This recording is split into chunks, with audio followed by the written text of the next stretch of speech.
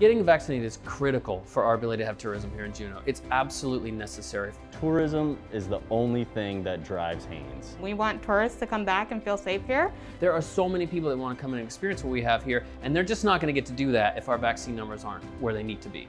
If we want to have business, we got to get vaccinated. I got vaccinated because I want our businesses to thrive. I got vaccinated because I care about my community. Let's all get vaccinated and have a great summer. A message from the Department of Health and Social Services.